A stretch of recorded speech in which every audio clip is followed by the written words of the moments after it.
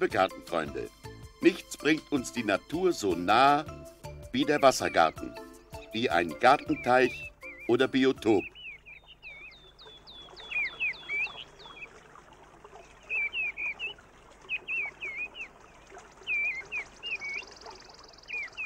Meine Gartenvideos 4 und 5 geben Ihnen einen umfassenden Überblick. Wie gestalte ich den Garten mit Teichen, Bachläufen und Wasserfällen? Wie bepflanze ich ihn naturgerecht und ästhetisch? Was die Natur im großen Maßstab zeigt, können wir auch im kleinen Hausgarten nachvollziehen.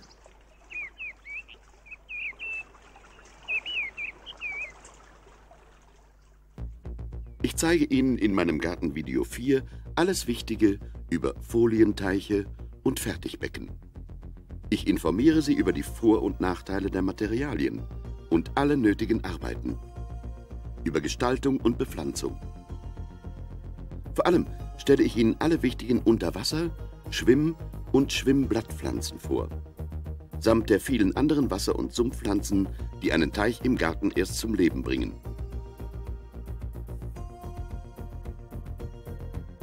Ihre Entwicklung hängt von der richtigen Pflanzung ab. Und, nicht zu vergessen, Sie erfahren, was Sie zum biologischen Gleichgewicht Ihres Teiches beitragen können. Zur Gesunderhaltung der Pflanzen und der Teichlebewesen, die ein gesunder Teich benötigt, und zu vielem mehr.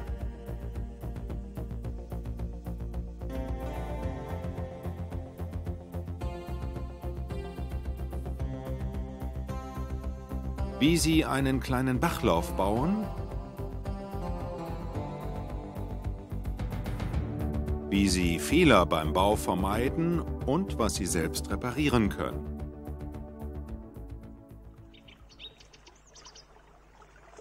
Aber schauen Sie sich zunächst einige schöne Beispiele selbstgebauter Teiche an.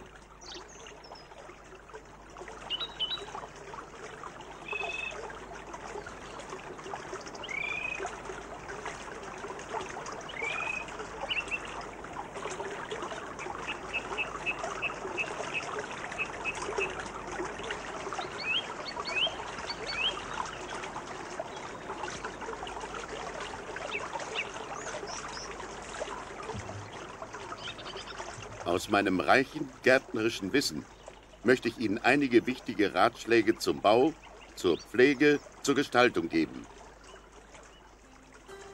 Einen Gartenteich bauen Sie für Ihr Leben, nicht nur für wenige Jahre. Am Anfang steht daher stets ein Plan. Betrachten Sie zunächst die vorhandene Bepflanzung. Laub fliegt im Herbst sehr weit und alles wächst. Beobachten Sie den Sonnenstand zu wechselnden Tageszeiten. Beginnen Sie Ihre Planung mit einer möglichst maßstabgerechten Skizze Ihres Grundstücks. Überlegen Sie sich Grundformen und Größen.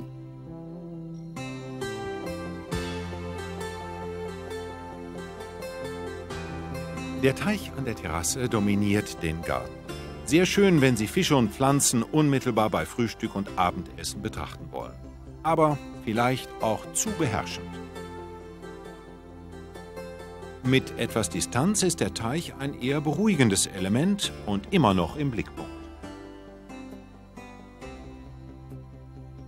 Wenn Sie ein reiches Tierleben wünschen, legen Sie den Teich besser in fernen Gartenecken an.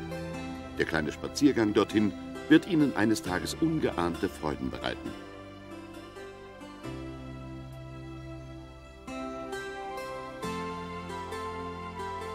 Ein Kompromiss ist der Teich mit Blick von der Terrasse, aber ruhiger, etwas abseits mit Distanz. Stete Schritte mögen Tiere nicht. Was Sie brauchen, ist Einfühlungsvermögen und ein wenig Kenntnis der Natur. Beginnen Sie den Bau nicht überstürzt. Achten Sie im Urlaub zunächst einmal auf natürliche Teiche, Bäche und Seen. Schauen Sie sich danach bei Nachbarn um, die bereits Erfahrungen gesammelt haben. Merken Sie sich zwei Grundregeln. Im ständigen Schatten hoher Bäume gedeihen Wasserpflanzen kaum. Seerosen benötigen mindestens sechs Stunden Sonnenschein täglich.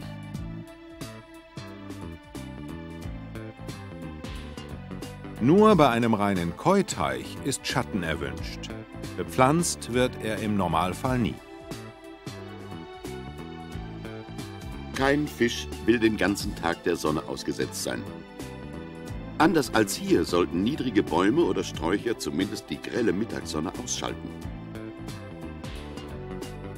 Geplante Schattenzonen halten vor allem die sommerlichen Wassertemperaturen niedrig, wichtig für das biologische Gleichgewicht. Das Wasser kippt nicht so schnell um, die größte Gefahr für einen Teich. Planen Sie die Größe und Form Ihres Teiches nach den Platzverhältnissen in Ihrem Garten. Regeln für die Anteile von Wasserfläche, Rasen und Bepflanzung gibt es nicht. Das ist reine Geschmackssache. Eine zu große Wasserfläche wirkt aber fast in jedem Garten zu eintönig.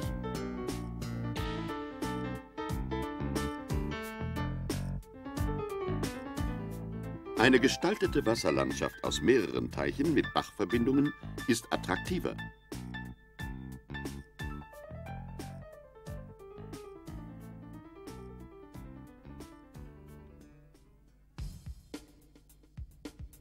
Sie sollten sich genau über die Bodenverhältnisse informieren. Vom Arbeitsaufwand her ist ein gewachsener Boden der beste Untergrund. Bauschutt im Untergrund und selbst Lehm können Teichbau zu Schwerarbeit werden lassen. Dann benötigen Sie unter Umständen maschinelle Hilfe.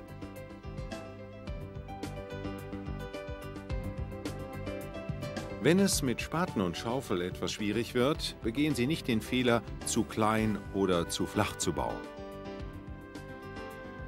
Schnell sammeln sich abgestorbene Pflanzenteile, Laub und Flugsand an. Aus einem Teich wird ein Tümpel, schließlich ein Sumpfbeet, das man verschämt Biotop tauft. So verlandet auch jeder Teich in der freien Natur, der nicht gepflegt oder öfters ausgebaggert wird. Er stirbt am organischen Material. In der Natur bilden sich Teiche auf wasserundurchlässigem Untergrund aus Tom und Lehm. Privat können Sie das nur schwer nachvollziehen. Aufwendig wegen der Schalung und Armierung sind auch Betonteiche, vor allem in unregelmäßiger Form. Folien sind das vielseitigste Material, Wasser gegen den Boden abzusperren. Es lässt sie frei Form, Größe und Tiefe gestalten. Wählen Sie allerdings keine Billigware. Nur im Fachhandel bekommen Sie verrottungsfeste, witterungs- und UV-beständige Folien und eine Langzeitgarantie von 10 Jahren. Die Folienstärke wählen Sie nach Teichgröße zwischen 0,5 und 1 mm. Die handelsüblichen PVC-Folien aus dem Fachgeschäft sind biologisch unbedenklich. Die Alternative zum Folienteich sind Fertigbecken. Lassen Sie die Finger von dünnwandigen Bildern. Gute Fertigbecken bestehen aus GFK, aus glasfaserverstärktem Kunststoff. Für den höheren Preis entschädigt die fast unbegrenzte Haltbarkeit.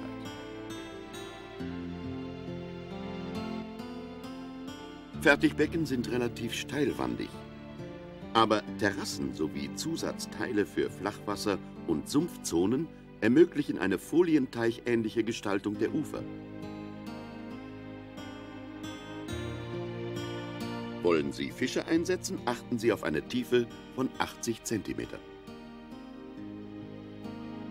In den Ausstellungen finden Sie zumeist nur mittelgroße Einzelbecken, aber Sie können durchaus auch kombinierbare Becken mit Bachlaufverbindungen und sogar Wasserfallelemente bestellen.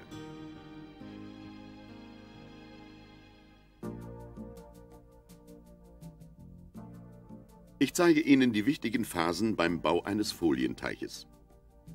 Was sich in der Natur langsam herausbildet, müssen Sie von Beginn an berücksichtigen. Orientieren Sie sich zunächst anhand meiner Zeichnungen. Kein Gartenteich ist ein einheitlich tiefes Loch. Die Wände müssen leicht abfallend angelegt werden, nicht steiler als 45 Grad, sonst halten weder Erdreich noch Sandabdeckung. Planen Sie Terrassen, also Absätze ein. Sie benötigen unterschiedliche Tiefenzonen für die verschiedenen Pflanzen. Für größere Pflanzenvielfalt ziehen Sie die Folie außerhalb des Teiches unter dem Boden und sogar unter dem Rasen durch, etwa 20 cm tief, für ein Sumpfbeet oder eine Feuchtwiese. Hinter dem Uferrand kann es nämlich durchaus knochentrocken werden. Wesentlich ist eine ausreichende Tiefwasserzone. Wichtig im Sommer wegen des Sauerstoffs, im Winter wegen der Frosttiefe. Hier wurzeln auch einige Unterwasserpflanzen. 80 bis 100 cm tief sollte der fertige Teich schon sein. Rechnen Sie beim Aushub für Unterfütterung und Bodengrund etwa 20 cm hinzu. Die unterste Pflanzterrasse ist für Schwimmblattpflanzen gedacht, also vor allem für Seerosen.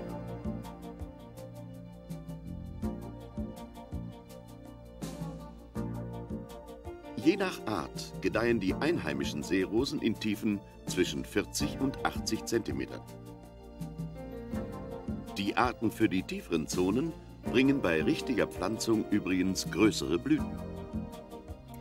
Für manche Sumpf- oder Flachwasserpflanzen wie das Hechtkraut können Sie eine Terrasse bei ca. 40 bis 60 cm einbauen.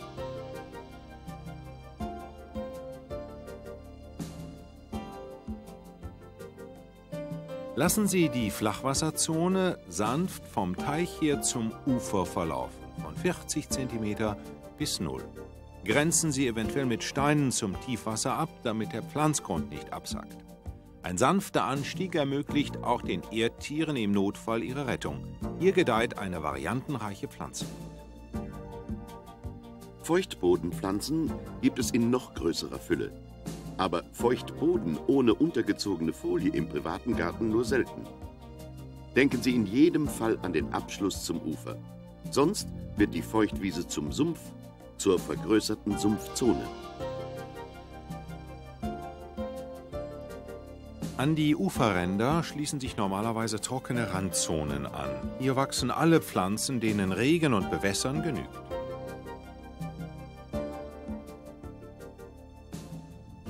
Zum selberbauen gehört natürlich Mut. Aber schwierig ist es nicht.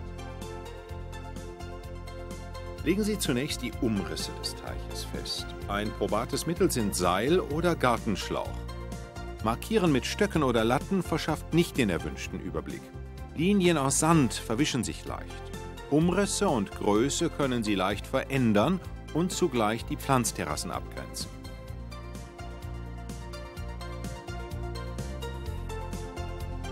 Beginnen Sie den Bodenaushub mit der Tiefwasser- oder Fischzone.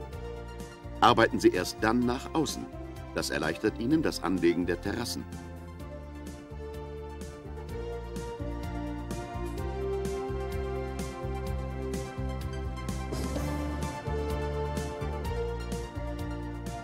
Erst nach dem Bodenaushub können Sie genau feststellen, wie viel Folie Sie benötigen. Errechnen oder nur mit dem Zollstock ausmessen reicht. Legen Sie ein Seil aus und messen Sie es nach. Geben Sie für jeden Uferrand 30 cm hinzu. Dieses Maß brauchen Sie für die Saug- oder Kapillarsperre. Handelsüblich sind Folienbreiten zwischen 2 und 8 Meter. Sie können jedoch jede Breite und Länge ab Werk bestellen.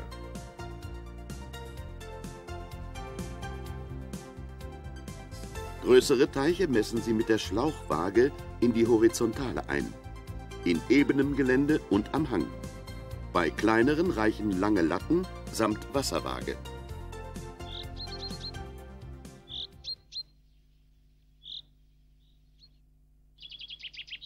Zunächst bringen Sie eine Sandschicht als Schutz für die Folie und zum Bodenausgleich ein.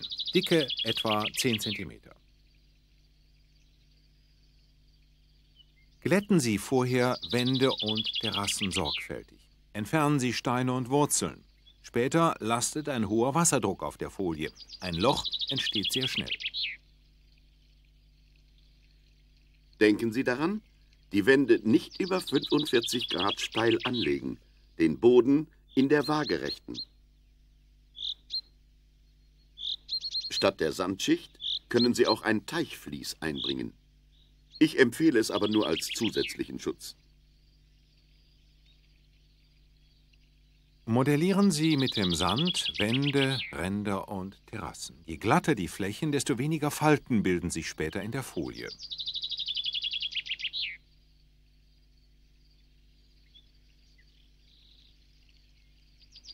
Kontrollieren Sie die Dicke der Sandschicht, bevor Sie die Arbeit abschließen.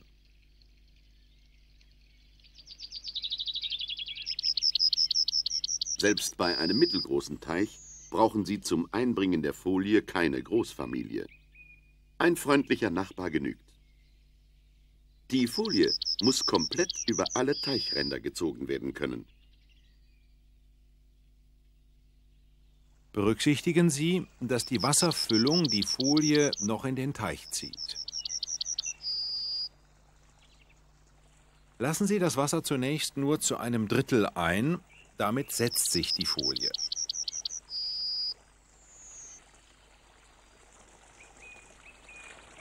Manchmal wird empfohlen, bereits vor dem Einlassen des Wassers Bodengrund einzubringen und die Unterwasserpflanzen einzusetzen. Ich kann das nicht befürworten. Wenn etwas verkehrt gelaufen ist, müssen Sie nicht nur abpumpen, sondern auch Bodengrund samt Pflanzen wieder herausnehmen. Falten lassen sich bei keinem Folienteich vermeiden. Das beeinträchtigt aber nicht die Haltbarkeit. Glätten Sie so weit wie möglich, senkrecht, nicht horizontal. Danach können Sie weiter Wasser auffüllen. Arbeiten Sie möglichst bei sommerlichen Temperaturen, dann ist die Folie elastischer.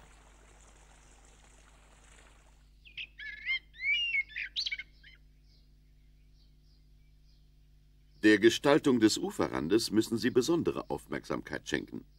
Sonst wundern Sie sich, wenn sich Ihr Teich über Nacht entleert.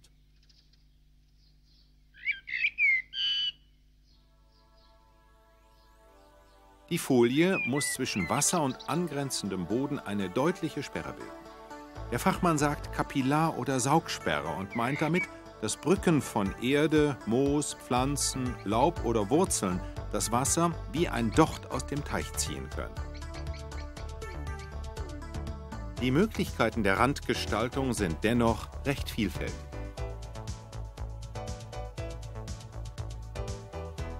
Einen natürlichen Übergang erreichen Sie mit einem leicht erhöhten Uferrand. Ein kleiner Graben dahinter schafft zugleich eine Feuchtzone. Die einfachste Lösung? Sie lassen die Folienkante einige Zentimeter überstehen. Hier besteht allerdings die Gefahr, dass sie heruntergetreten wird. Wenn Sie nur gelegentlich die Ufer betreten, genügen relativ einfache Plattenlösungen. Ziehen Sie die Folien unter den erhöhten Platten durch. Im festen Erdreich stützt die senkrechte Platte ab. Noch sicherer sind bei stärkerer Belastung Stampfbetonfundamente. Etwa wenn Sie das Ufer als ständigen Gehweg benutzen oder den Uferrand aufmauern wollen. Liegt der Teich im Rasen, genügt zumeist ein erhöhter Uferrand, über den Sie die Folie ziehen. Gehen Sie sehr sorgfältig vor. Ein schlecht unterfütterter und nicht verfestigter Rand tritt sich sehr leicht herunter.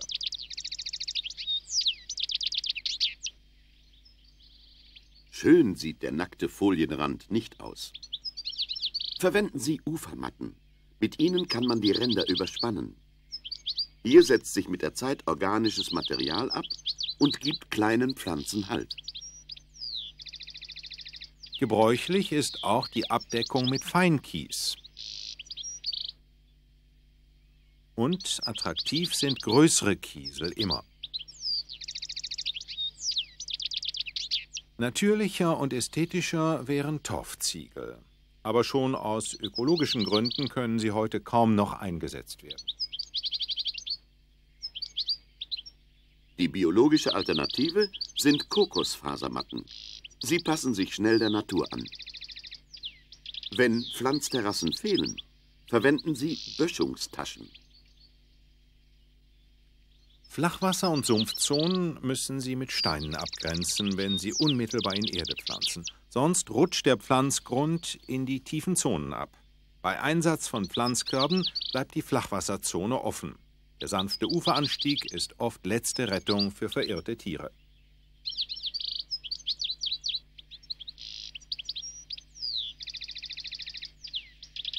Gevatter Frosch sieht nirgendwo Probleme.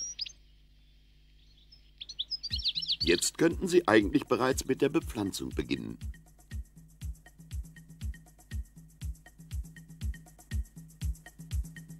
Ich möchte Ihnen aber zuerst den Einbau eines Fertigbeckens zeigen. Die Bepflanzung ähnelt sich so sehr, dass ich sie später gemeinsam erläutern will. Fertigbecken sind oft asymmetrisch. Sie können sie nicht einfach umdrehen und die Konturen nachzeichnen. Sie müssen so stehen, wie sie später eingebaut werden. Zeichnen Sie zuerst den Boden an. Dann besonders sorgfältig die Umrisse der Pflanzterrassen. Führen Sie den Hilfsstock möglichst senkrecht und berücksichtigen Sie die Beckenschräge, sonst wird es später zu eng.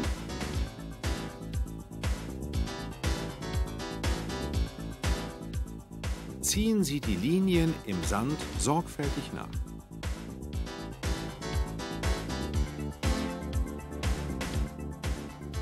Versuchen Sie, die Aushubtiefen mit Pflöcken zu markieren. Bei schwierigem Untergrund verspricht das aber selten Erfolg.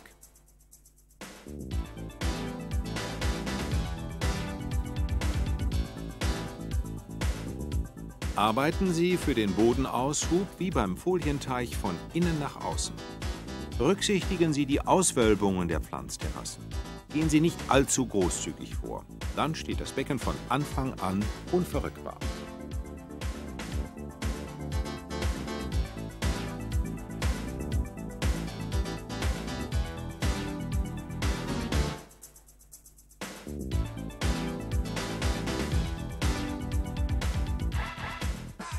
Probeweises Einsetzen ist keine Schande. Lieber ein Helfer mehr als einer zu wenig. Und besser zu eng als zu weit und zu tief.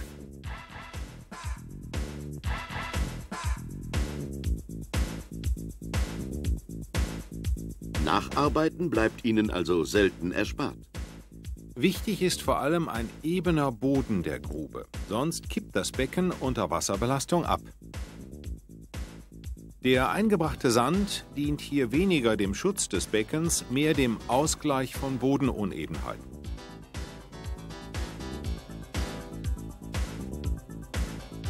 Vergessen Sie die Wasserwaage nicht, bevor es an die weiteren Arbeiten geht.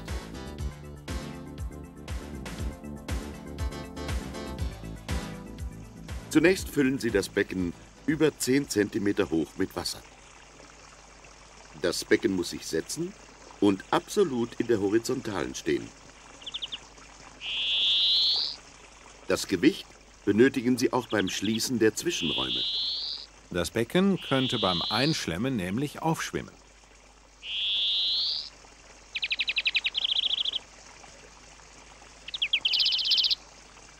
Schlemmen Sie gründlich ein, damit sich alle Hohlräume schließen. Und immer schrittweise nach Einlassen des Wassers. Richtig steht das Becken, wenn es etwas über dem Erdboden abschließt. Das verhindert, dass jeder Windhauch Schmutz hinein befördert. Auf einen Hügel allerdings sollten Sie es nicht bauen. Da wir so viel über Wasser sprechen, womit füllen wir den Teich zweckmäßigerweise? Die beste und sicherste Wasserqualität kommt immer noch aus der Leitung. In manchen Bundesländern und Gemeinden gibt es Preisermäßigungen beim Abwasser. Vergewissern Sie sich vorher. Regenwasser war früher sehr erstrebenswert. Heute wäscht es mancherorts viel Schadstoffe vom Dach, unbekömmlich für Pflanzen und Fische.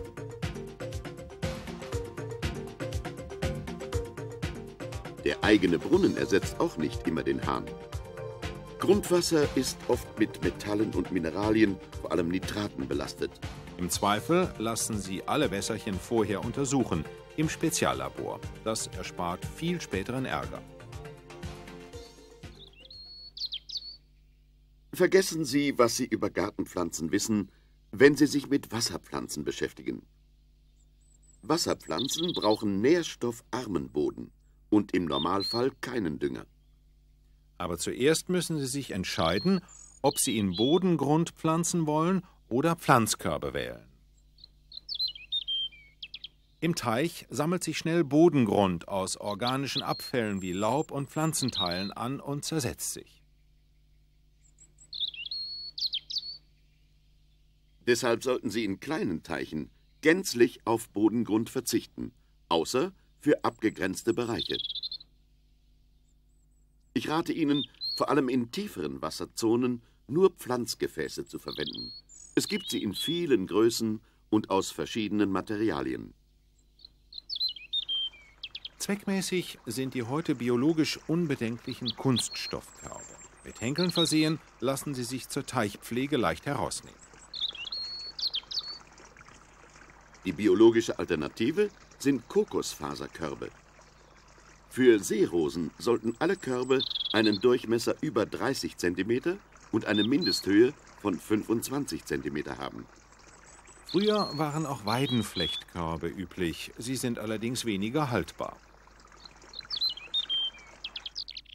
Die Pflanzerde können Sie selbst zusammenstellen, aus etwa einem Viertel Sand und drei Viertel Lehm.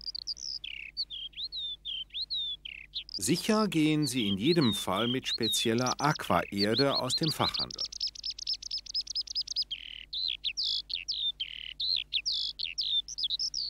Verwenden können Sie auch handelsübliche Substrate. Gewaschener Kies ist besonders wichtig, wenn Sie gründelnde Fische einsetzen und ständig trübes Wasser vermeiden wollen. Keinesfalls verwenden dürfen Sie wegen ihres Nährstoffreichtums Gartenerde, Humus, Kompost. Liebe Gartenfreunde, was Sie zuerst brauchen, ist ein Pflanzplan. Dann müssen Sie sich um die Art der Pflanzung kümmern. Bevor ich Ihnen die Bepflanzung im Einzelnen erkläre, sollen Sie die Pflanzen, ihre Blütezeiten und die Wachstumsbedingungen kennenlernen.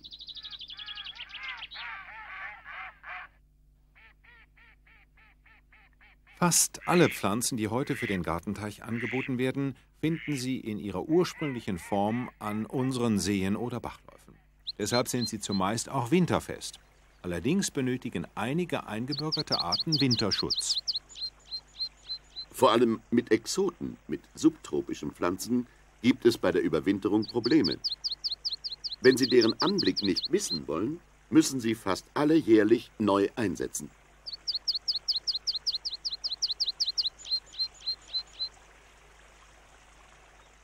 Bei der Bepflanzung stehen Sie immer vor der Qual der Wahl.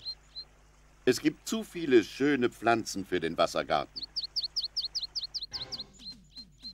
Wichtig sind die Unterschiede zwischen den Gattungen der Teichpflanzen.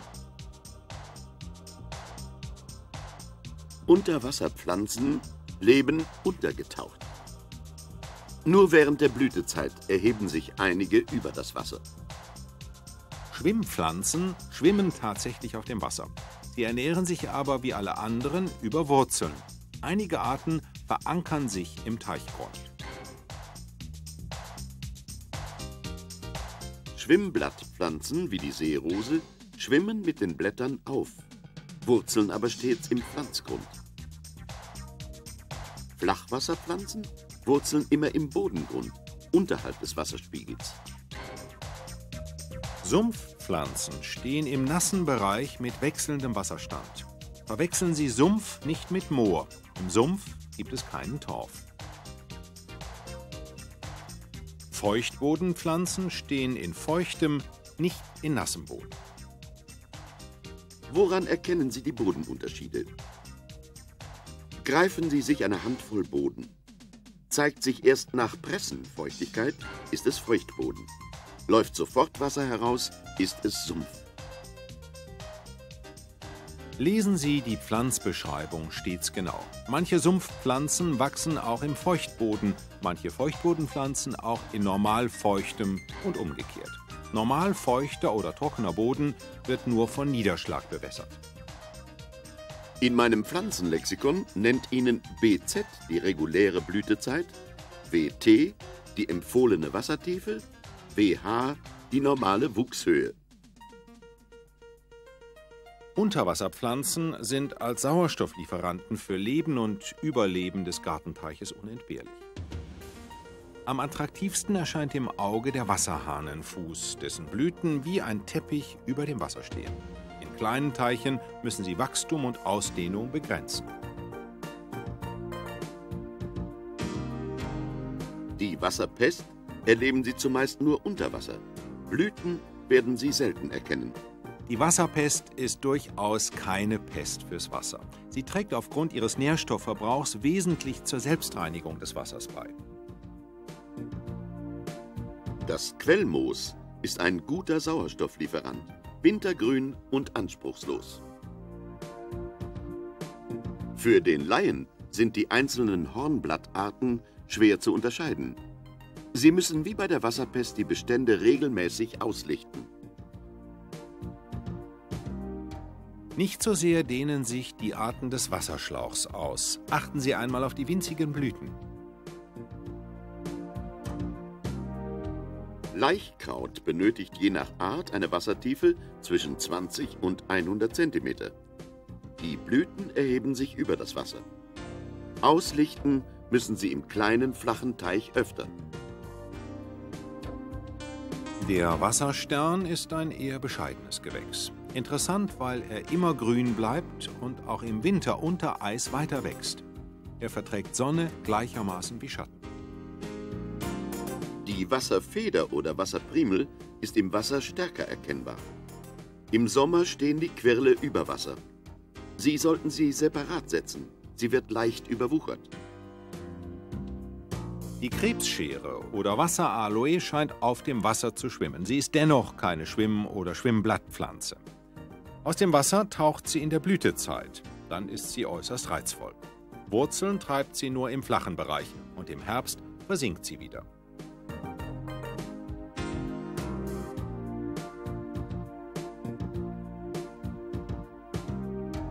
Unterwasserpflanzen können Sie problemlos in den Teich einsetzen. Zumeist sind sie mit Gewichten beschwert und sinken so auf den Boden.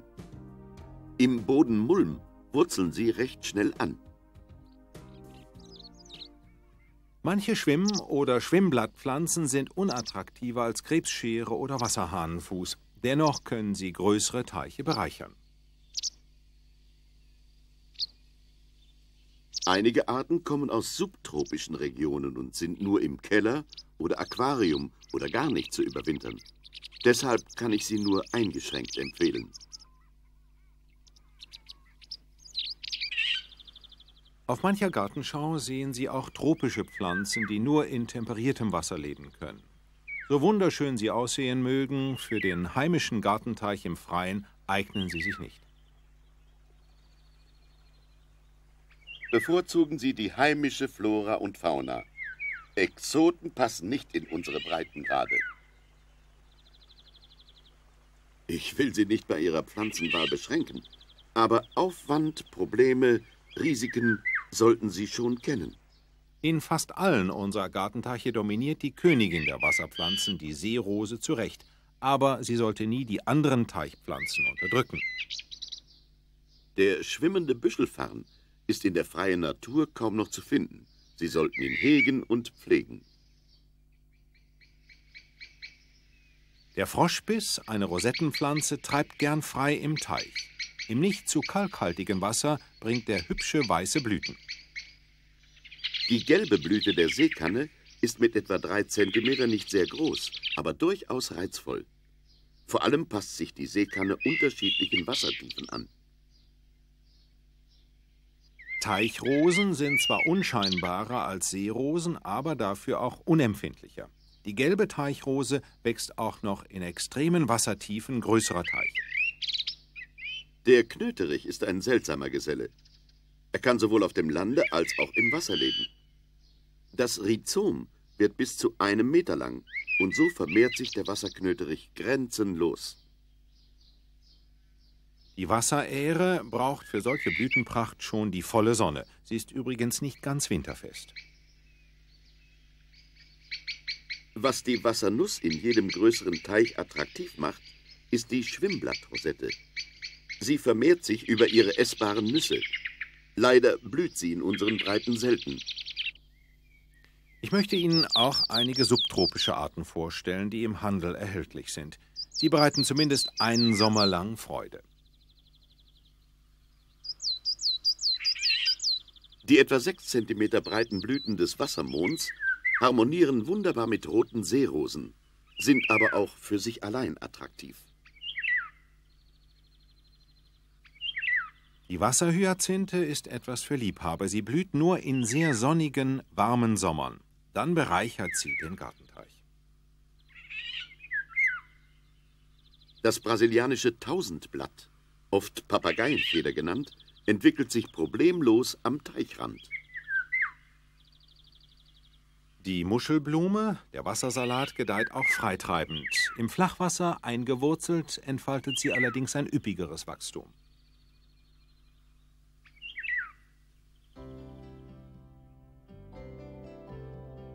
Niemand wird ernsthaft daran zweifeln, dass die schönste aller Wasserpflanzen, die Seerose, Seen, Weiher, Teiche prägt. Heimisch ist die weiße Seerose.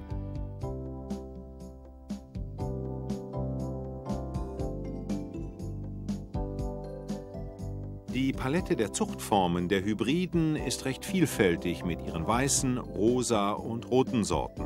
Die weißen erscheinen oft auch cremefarben und hellgelb.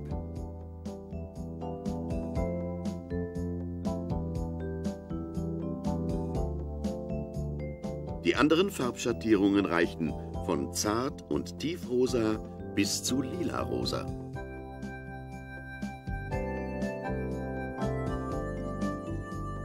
Oft variiert auch die Blütenfärbung von der Blütenspitze zur Mitte und von innen nach außen. Manche wechseln den Farbton während der Blütezeit.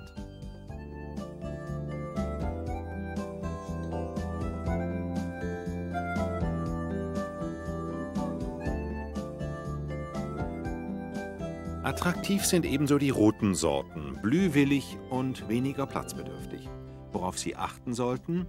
Jede Sorte hat eine optimale Wassertiefe. Setzen Sie alle Seerosen zunächst flacher. Gewöhnen Sie sie an den tieferen Standort. Übrigens, die rein gelben Sorten können in unseren Breiten Blüh- und Wuchsprobleme bekommen. Denken Sie bei allen Sorten an die Winterhärte.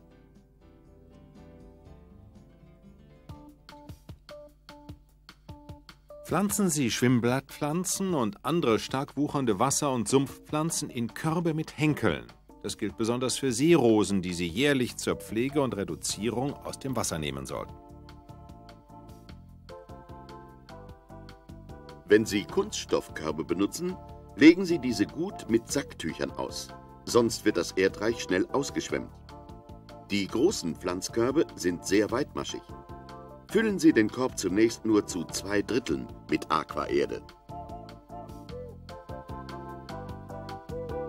An Containerpflanzen aus dem Fachhandel müssen Sie normalerweise nichts schneiden. Nur faulige oder beschädigte Blätter oder weiche Stellen im Rhizom entfernen.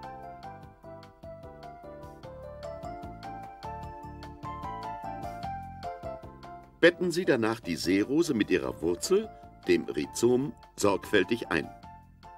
Füllen Sie weiter mit Erde auf und decken Sie mit gewaschenem Kies ab. Damit verhindern Sie das Ausschwemmen der Erde beim Einsetzen und auch später.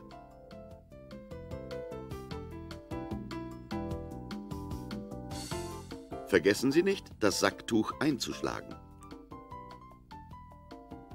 Und wie bringt man die Seerosen anschließend in den gefüllten Teich ein?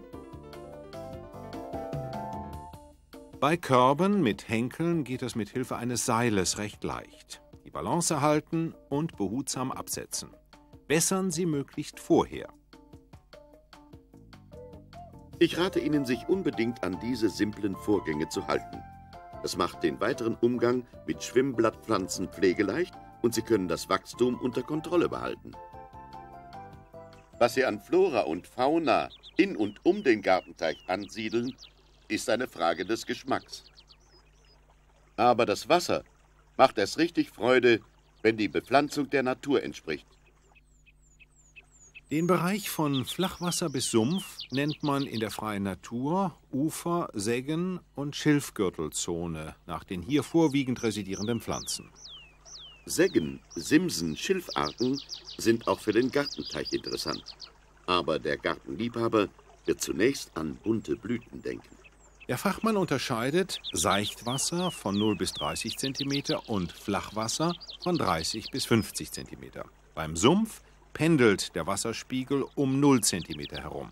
Der Boden ist aber ganzjährig mit Wasser gesättigt. So genau nehmen es viele Pflanzen nicht. Sie wachsen zum Beispiel bei Wasserstand 0 und bei Wasserstand 15, wenn auch nicht immer gleichermaßen üppig. Sie sind deshalb gut beraten, wenn Sie sich an die Angaben auf den Pflanzschildern halten. Wassertiefe, Wuchshöhe, Standort sollten Sie immer beachten. Pflanzen für Flach- und Seichtwasser setzen Sie im Zweifelsfall besser ebenfalls in Pflanzgefäße. Verwenden Sie die von mir empfohlene nährstoffarme Aquaerde. Sacktücher brauchen Sie bei diesen engmaschigen Körben nicht unbedingt. Wenn Sie allerdings nicht behutsam einsetzen, wirbelt der Pflanzgrund ins Wasser. Das ist schlecht für die Wasserqualität.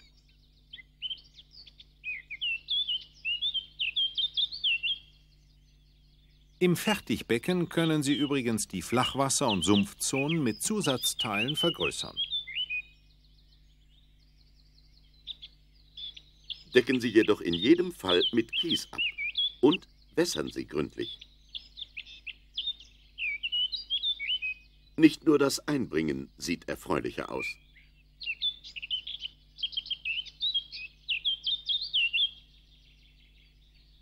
In den abgegrenzten Sumpfzonen des Folienteiches können Sie unmittelbar in den eingebrachten Bodengrund pflanzen.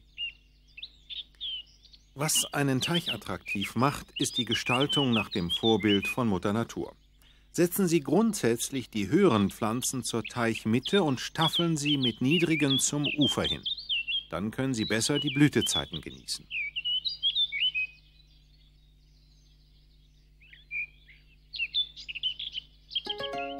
Die Sumpfdotterblume ist vielleicht die typischste aller Seichtwasser- und Sumpfpflanzen. Neben der einfachen gibt es gefüllte und gehörnte Sorten. Sie unterscheiden sich geringfügig in der Wuchshöhe.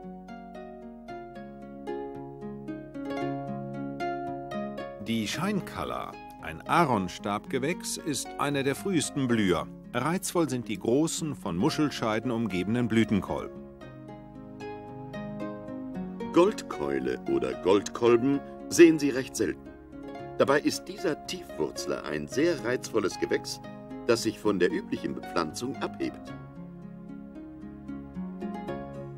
Pfennigkraut ist mit seinen gelben Blüten ein hervorragender und auch reizvoller Bodendecker, besonders an den Uferrändern. Es wächst im seichten Wasser und im Sumpf bis in den trockenen Boden hinein. Der Fieber oder Bitterklee gehört ins seichte Wasser, nicht in den Sumpf. Suchen Sie für die zarten Blüten einen gut einsehbaren Platz. Sonnenschein bevorzugt.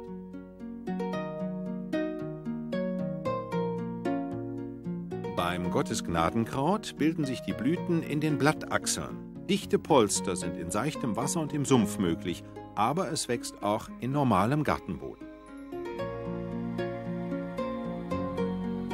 Die bekannt vitaminreiche Brunnenkresse bildet am Rand und im seichten Wasser dichte Polster. Ein guter Bodendecker. Die bescheidene Sumpfbinse wird viel zu selten gepflanzt. Sie bildet dichte Gruppen, ist daher besser separat zu halten. Den Froschlöffel können Sie vorteilhaft mit Grasnachbarn ansiedeln. Reizvoll sind die Rispen auch im Winter, aber die reiche Samenausbreitung sollten Sie vermeiden.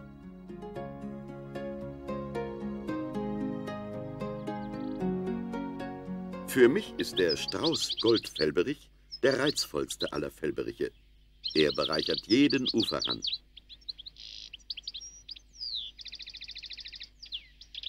Der hübsche Sumpfstorchschnabel blüht rot bis rotviolett. Wichtig, er wächst auch bodenfeucht. Reizvoll ist er in großflächiger Pflanzung. Man könnte das Sumpfvergissmeinnicht fast verwechseln mit der Gartenpflanze. Es ist ein Dauerblüher von Mai bis September. Sie können es getrost in den Uferzonen verwildern lassen.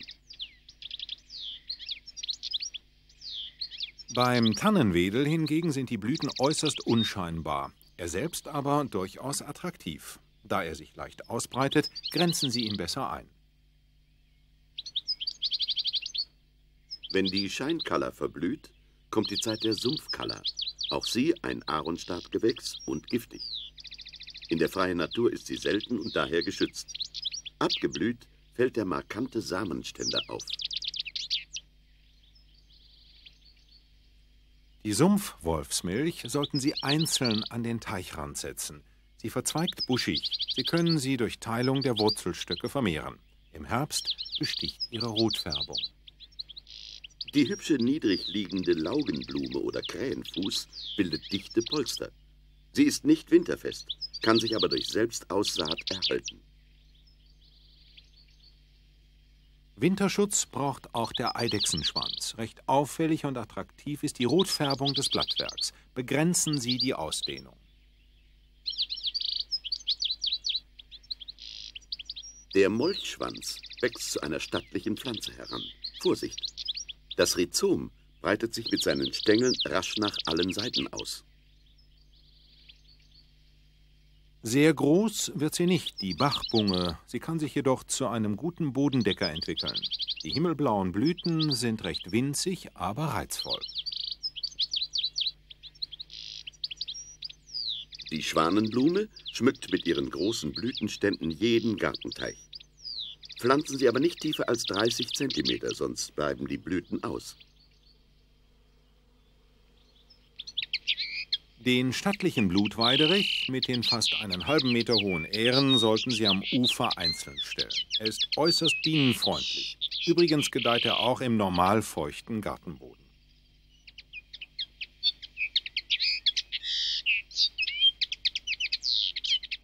Für mich als Teichfreund sind die Hahnenfußgewächse die typischen Uferpflanzen. Der Zungenhahnenfuß kann ansehnliche Gruppen bilden. Auch das Pfeilkraut ist charakteristisch für das Flachwasser. Zwischen den einzelnen Arten sind nur die Unterschiede in der Blütezeit interessant.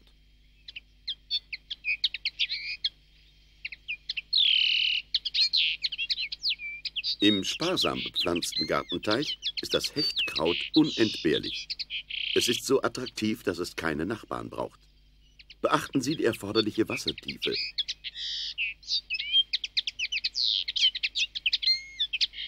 Die Blätter der Wasserminze riechen gesund nach Menthol. Bienen und Hummeln lieben die kleinen Blüten. Die Minze breitet sich gerne in Gruppen vom seichten ins tiefere Wasser aus.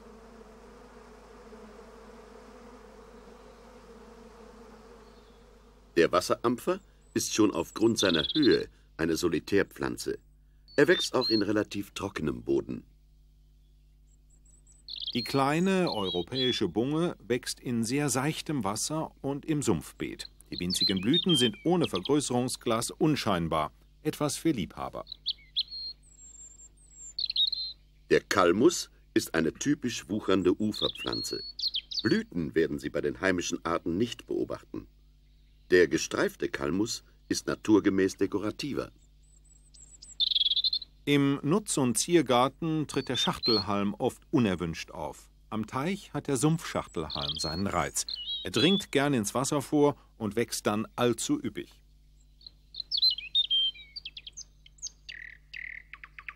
Zu den schönsten Blühern am Gartenteich gehören die Lilien. Aber Achtung! Die meisten Arten vertragen keine stauende Nässe. Sie bevorzugen feuchten oder trockenen Boden am Uferrand. Das gilt besonders für die japanische Prachtiris, die ich Ihnen in meinem Video 5 vorstelle. Die gelbe Wasserschwertlilie allerdings wächst gern im seichten Wasser und auch im nassfeuchten Uferrand. Ebenso die Sumpfschwertlilie, die etwas später blüht.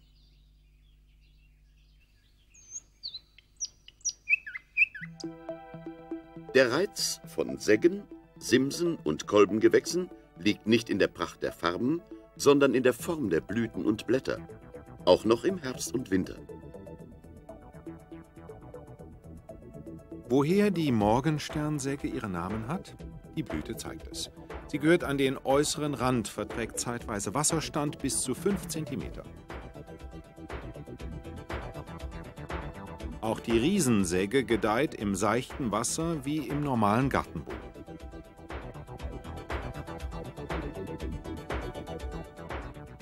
Die See- oder Teichsimse kann sich zu einem der höchsten Teichgewächse entwickeln. Sie wuchert stark. Die steife Segge gedeiht zufriedenstellend auch am trockenen Rand. Man sagt ihr nach, dass sie das Ufer gut verfestigt. Die scharfe Nadelsimse wächst im Seichtwasser und Sumpf. Sie kann durchaus im Winter noch ihr Grün zeigen. Die Sumpfsegge kann dichte Büsche bilden. Ein reizvolles Gewächs am Teichufer.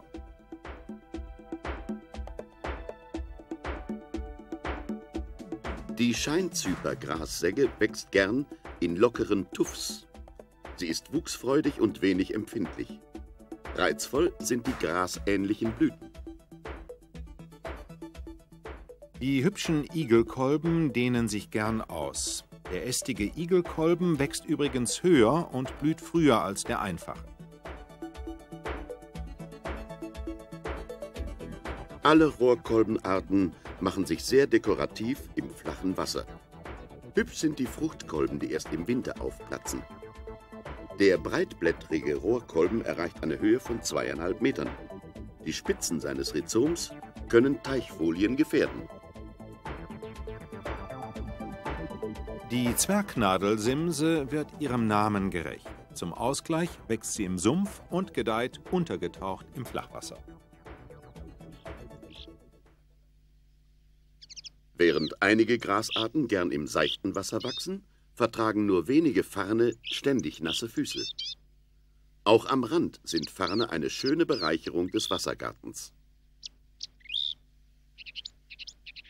Von den Gräsern kommt vor allem der Wasserschwaden, eine Süßgrasart, für sie in Betracht. Der einfache ist der wesentlich größere, der gebänderte der auffälligere.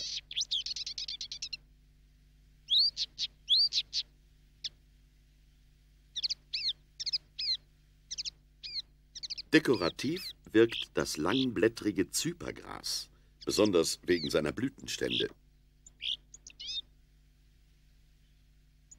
Der Sumpffarn wächst bodenfeucht bis ins flache Wasser. Die grazile Pflanze bevorzugt Schatten. Neben Sumpf- und Kleefarn verträgt vor allem der Perlfarn durchaus Sumpf und seichtes Wasser. Eine sehr schöne Solitärpflanze. Alle anderen Farnarten stelle ich Ihnen in Video 5 vor.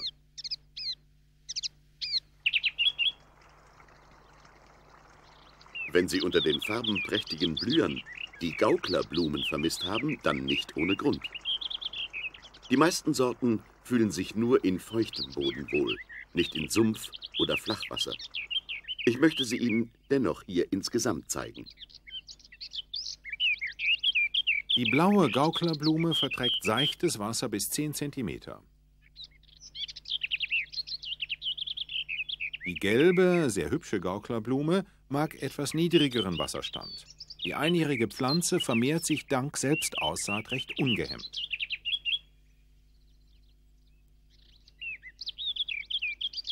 Der rote Kaiser, ein unerschöpflicher Dauerblüher, orientiert sich mehr zum rein feuchten Boden. Das gilt ebenso für die getüpfelte Gauklerblume. Ihre Blütenblätter sind eine Attraktion. Die Ausläufer bilden dichte dekorative Rasen.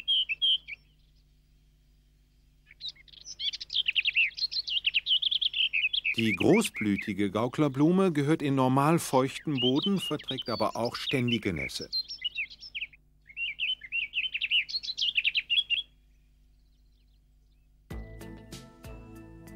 Von den subtropischen Pflanzen, die schwer oder kaum über den Winter zu bringen sind, möchte ich Ihnen nur einige ausgefallene Beispiele zeigen. Die Kardinalslobelie frappiert mit ihren großen scharlachroten Blüten. Sie können versuchen, die Pflanzen mit Laubabdeckung zu überwintern.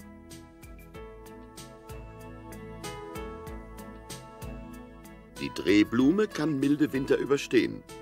Diese seltene Orchidee trägt ihren Namen zurecht. Die Blüten drehen sich um den Schaft. Der Urahn unseres Papiers, die Papyrusstaude, ist eine Teichzierde. Überwintern müssen sie bei Zimmertemperatur.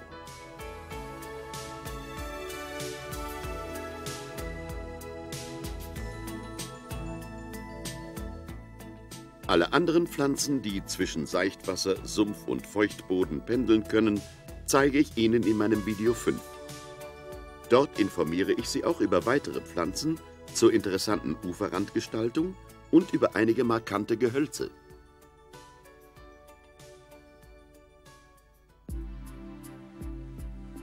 Das Schlimmste, was dem neugebackenen Teichbesitzer droht, sind die Pflanzengeschenke wohlmeinender Freunde.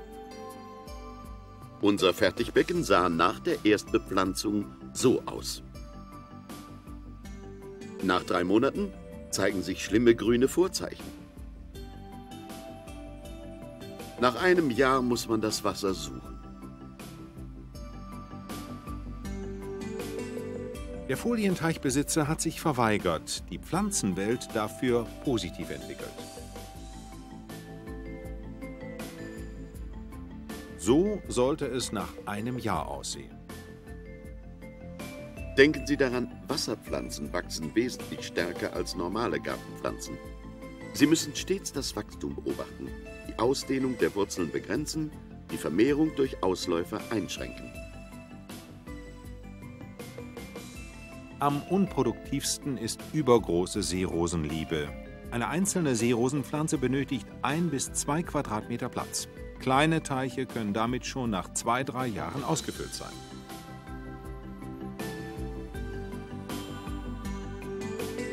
Wo sich Berge türmen, nehmen Sie besser einige Pflanzen heraus oder teilen die Rhizome. Alles zum Rhizomschnitt in Video 5. Halten Sie sich bei der Bepflanzung an die goldene Regel. Ein Drittel Pflanzen, zwei Drittel freie Wasserfläche. Lassen Sie für alle Teichpflanzen genügend Abstand, auch im großen Teich. Seerosenblätter müssen zum Beispiel auf dem Wasser schwimmen, dann entfalten sich die Blüten zu voller Schönheit.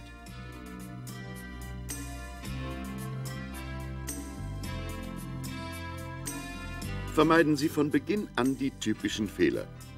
Wählen Sie ausreichend große und stabile Pflanzgefäße. Berücksichtigen Sie das Wachstum. Unser Molchschwanz hilft sich schon nach wenigen Wochen und durchbricht die Korbwand.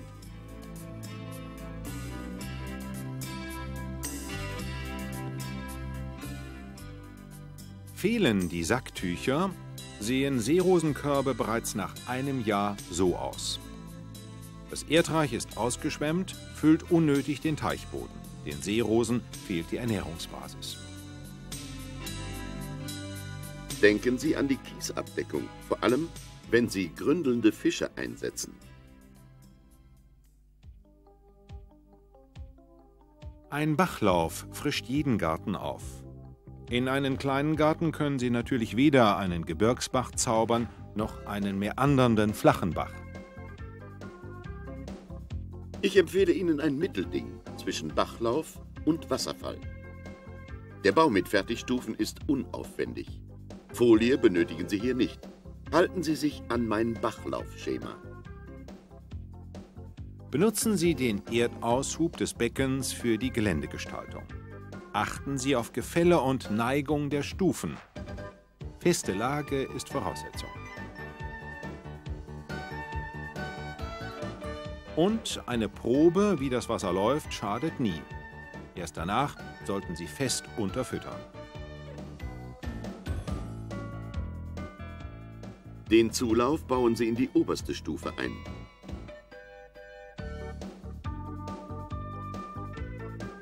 Verlegen Sie den Schlauch außerhalb des Bachlaufs zur Pumpe im Teich, möglichst im Leerrohr. Das erleichtert Reparaturen.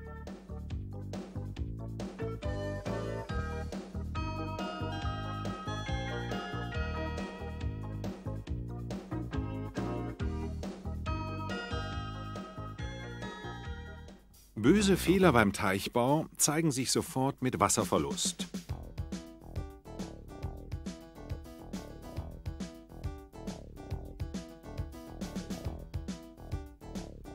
Eine mögliche Ursache ungeeignete Folie oder Fehler bei eigener Schweiß- oder Klebearbeit.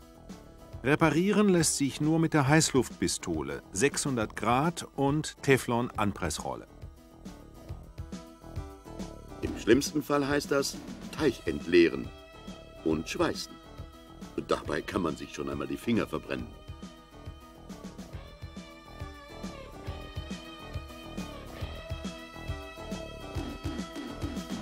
Relativ leicht geht das noch, wenn sich nur die Bahnen gelöst haben. Oft drücken sich aber auch spitze Steine oder Wurzeln unter der Wasserlast durch. Dann müssen die kleinen Löcher sorgfältig gesucht und aufwendig Flicken aufgespeist werden.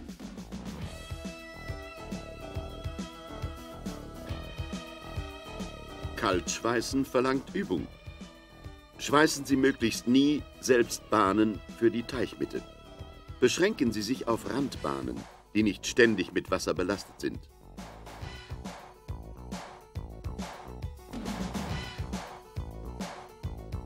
Gut geschweißt dürfen praktisch keine Nähte sichtbar sein.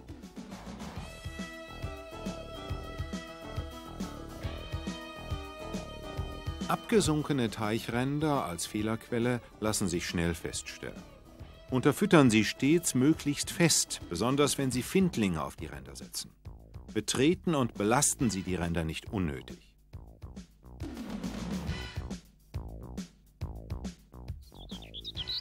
Liebe Gartenfreunde, der Gartenteich hat seinen eigenen Kreislauf, der sich selbst reguliert.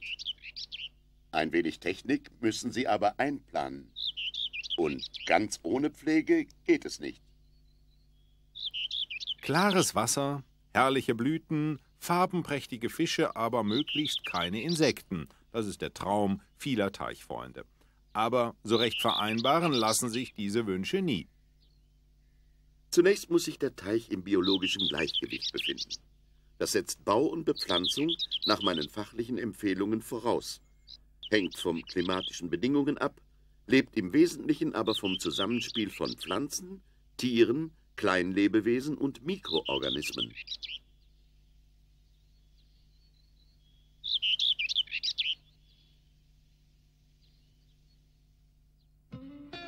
In Regen- und Brunnenwasser befinden sich wenige zum Start des Teichlebens nötige Mikroorganismen, am ehesten noch im Leitungswasser.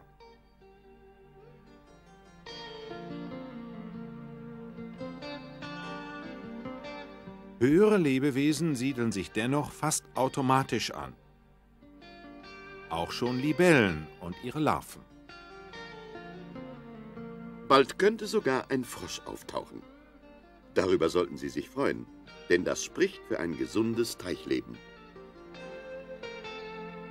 Fische sind für das biologische Gleichgewicht des Teiches eher ein Störfaktor. Ihre Ausscheidungen trüben das Wasser und reichern es organisch an. Setzen Sie nicht mehr Fische ein, als der Teich an natürlicher Nahrung bietet. Ein bis zwei Exemplare pro Quadratmeter Wasseroberfläche sind ein gutes Maß. Selbstverständlich kommt es auch auf Art und Größe an. Zusatzfütterung sollte dennoch nicht die Regel sein. Warten Sie zunächst drei bis sechs Monate ab, bevor Sie Fische einsetzen. Manchmal dauert es zwei Jahre, bis sich das Ökosystem gefestigt hat. Algenblüte stellt sich schnell bei übermäßiger Hitze, Regen und Gewittern ein. Sie geht oft schnell vorbei. Chemie brauchen Sie nur in seltenen Fällen. Denken Sie aber immer an die chemischen Werte des Wassers, das sich in Ihrem Teich befindet. Die können und müssen Sie notfalls steuern. Die Messungen mit dem Testset sind relativ einfach. Die Gesamthärte beeinflusst die organischen Funktionen aller Lebewesen im Wasser. Ideal sind 5 bis 10 Grad deutscher Gesamthärte. Wichtig ist die Einhaltung des Gleichgewichtes zwischen sauren und alkalischen Komponenten. Günstig ein pH-Wert zwischen 6 und 7 pH. Im Sommer sollte er nicht steigen. Die Carbonathärte hängt eng mit dem pH-Wert zusammen. Gut ist ein Wert zwischen 4 und 8 Grad. Achten Sie auf diese Werte. Der Sauerstoffgehalt hängt von vielen individuellen Faktoren ab. Kontrollieren können Sie selbst sehr wenig. Sauerstoff und Kohlendioxidgehalt sind eng verbunden. Kohlendioxid brauchen alle sauerstoffproduzierenden Pflanzen für Ernährung und Wachstum. Wenn es trotz aller Wasserpflege gar nicht anders geht, müssen Sie an technische Hilfsmittel denken. Das kann vor allem in heißen Sommern der Fall sein. Regulieren Sie mit Wasserumwälzung und Belüftung.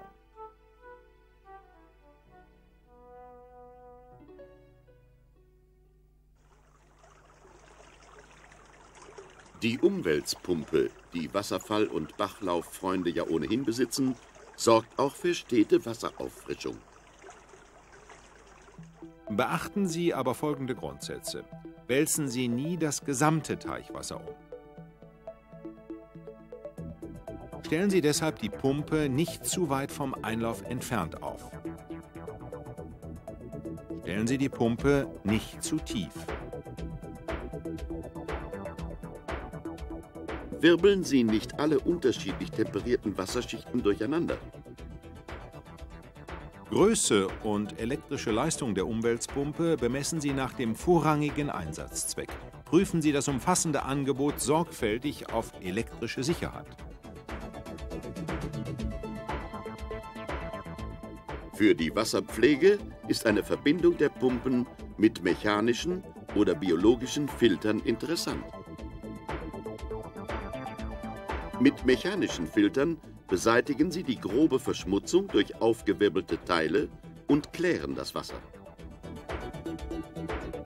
Mit biologischen Filtern wandeln sie für Pflanzen und Tiere schädliche Verbindungen in unschädliche um. Bakterien auf dem Filtermaterial helfen dabei. Fragen Sie nach. Nicht jedes System ist für jeden Teich geeignet.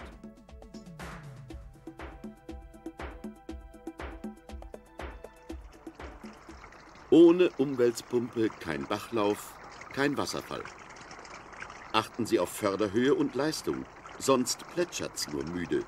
Oder Sie pumpen den Teich leer. Springbrunnenpumpen tragen zur Sauerstoffanreicherung des Wassers bei. Bleiben Sie aber von Seerosen fern. Sie mögen keine stete Wasserbewegung und ihre Blätter sind empfindlich gegen Spritzer. Für kleinere Teiche geeignet sind elektrische und luftbetriebene Sauerstoffpumpen. Sie reichern das Wasser mit Sauerstoff an und filtern zugleich. Für luftbetriebene reicht es allerdings nur bis etwa 9 Quadratmeter.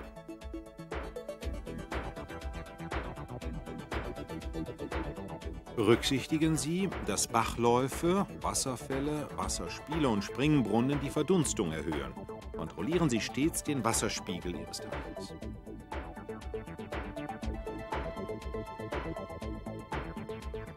Strom und Wasser zusammen sind immer lebensgefährlich. Sie sollten elektrisch schon sehr erfahren sein, wenn Sie Leitungen und Anschlüsse selbst verlegen. Benutzen Sie nur zugelassene Pumpen mit maximal 12 bis 24 Volt. In ein gesundes, ausgewogenes Teichleben sollten Sie nur behutsam eingreifen.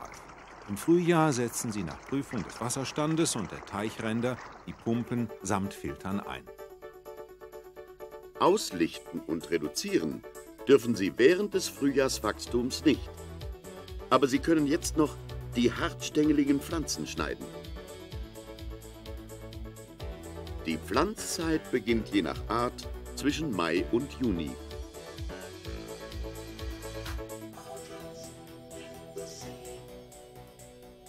Im Sommer entfernen Sie nur Laub, die berühmte Entengrütze, also Wasserlinsen und Algen. Füllen Sie frisches Wasser nie zu schnell ein, sonst kommt es zu einem Kälteschock. Der Rasensprenger ist hilfreich. Unterwasserpflanzenbestände können Sie übers ganze Jahr reduzieren. Und Neupflanzen können Sie noch im gesamten September. Der Herbst ist die rechte Jahreszeit fürs Auslichten und Reduzieren. Schneiden Sie die schnell verrottenden Pflanzen. Hartstängelige können Sie stehen lassen. Sie sind auch im Herbst und Winter reizvoll. Entfernen Sie Mulm und Faulteile.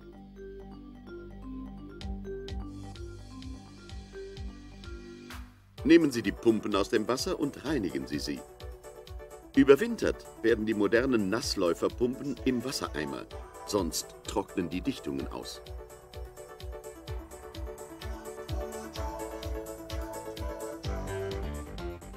Auch wenn es nicht immer schön aussieht, spannen Sie während des Laubfalls Netze über den Teich. Den Anblick können Sie für wenige Wochen ertragen. Teich reinigen ist wesentlich mühsamer. Der Winter ist für mich Ruhezeit wie für die Tiere im Teich. Haben Sie 60 bis 80 Zentimeter freie Wassertiefe, werden Ihre Fische kaum einfrieren. Denken Sie aber daran, es gibt keinen vernünftigen Weg, das Zufrieren des Teiches zu verhindern. Bei starkem Fischbesatz benötigen Sie größere Tiefe. Orientieren Sie sich an den Durchschnittstemperaturen Ihres Wohnortes. Ohne Sauerstoff können Fische den Winter nicht überstehen. Die gebräuchlichen Eisfreihalter sind recht nützlich. Allerdings sollten Sie täglich die Eisschichten entfernen, die sich darunter neu bilden.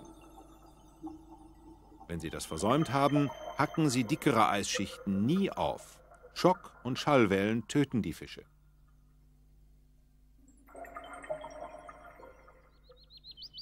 Eine Frage wird mir oft gestellt. Soll man den Teich ausräumen, wenn er sich mit Mulm und Bodenschlick zugesetzt hat? Die Antwort liegt in der Mitte. In diesem 50 Quadratmeter Teich gibt es kaum noch freie Wasserfläche.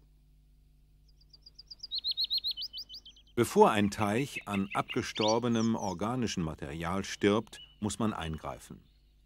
Reinigen Sie aber jährlich nur ein Drittel des Teiches, sonst beeinträchtigen Sie das biologische Gleichgewicht.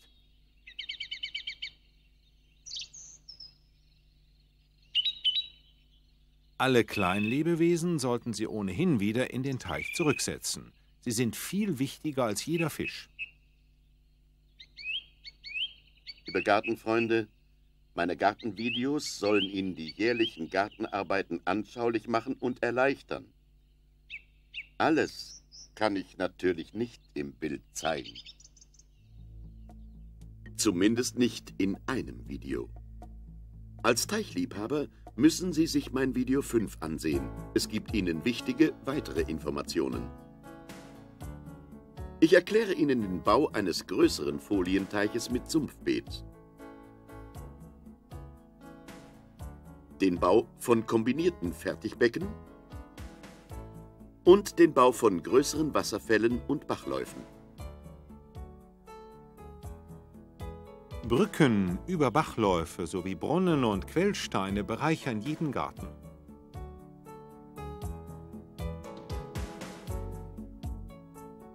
Das Pflanzenlexikon bringt Ihnen eine Fülle von zauberhaften Sumpf-, Feuchtboden- und Randpflanzen. Ich zeige Ihnen die reizvolle Tierwelt, die sich am Gartenteich selbst ansiedelt und nenne Ihnen die empfehlenswerten Fischarten.